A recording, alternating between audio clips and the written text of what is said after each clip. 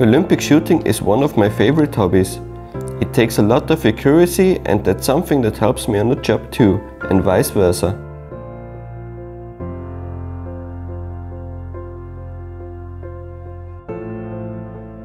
My motto is, if we could put a man on the moon, we can do this. I take a highly organized approach to problems.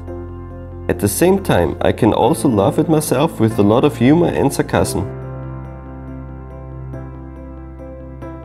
I'm definitely more of a thinker than a feeler, so I am right at home in lean management.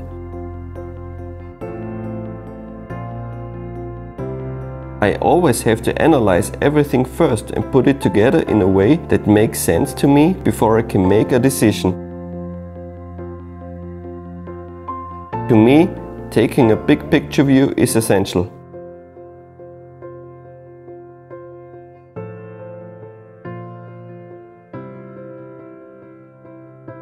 My name is Andreas Wegscheider. My idea brings solution for many users who are eagerly awaiting them.